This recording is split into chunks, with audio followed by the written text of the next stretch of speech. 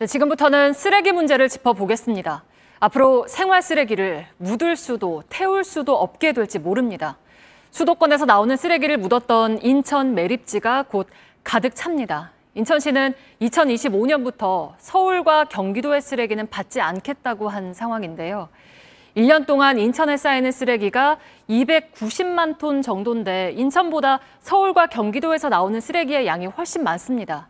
쓰레기를 태울 시설을 늘려야 하지만 쉽지가 않습니다. 소각장을 새로 짓는 문제로 갈등이 일고 있는 서울 상암동 소각장에서는 태워서는 안 되는 음식물과 재활용품이 무더기로 나왔습니다. 먼저 신진 기자입니다. 자정이 다 된 시각 서울 상암동의 쓰레기 소각장. 생활 쓰레기를 가득 담은 차량들이 줄지어 들어갑니다. 마포구 주민들은 지난 한 달 동안 매일 이곳에서 불침번을 섰습니다. 태워서는 안 되는 쓰레기가 들어있는지 확인하는 겁니다. 이런 게 지금 나오면 좀 안 돼요. 그 비닐들은 비닐들은 비닐대로 이제 처리해요.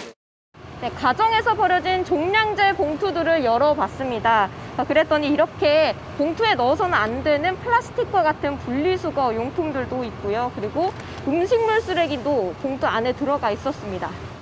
종로구 차량에서는 뭐 뚝배기 같은 음, 음식물 쓰레기가 가득 들어가 있는 차량 그리고 추석 직후에는 포장도 뜯지 않는 황태 그 음식물 쓰레기 같은 거 적발된 차량은 경고를 받고 반복되면 일정 기간 소각장을 사용할 수 없습니다.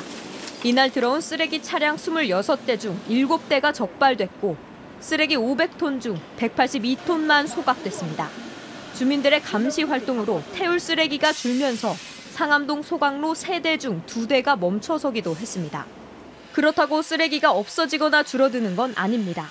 적발돼 소각장 이용이 금지된 쓰레기는 경기도의 민감 매립지나 인천 수도권 매립장으로 향합니다. 재활용 분리수거만 제대로 잘해도 30% 이상의 쓰레기가 분명히 줍니다. 저희가 실질적으로 해봤고 서울시는 불가능한 주장이라고 반박했습니다. 종량제 봉투에 섞여 배출되는 플라스틱 등을 솎아낸다고 해도 줄일 수 있는 양의 최대가 18%라는 겁니다.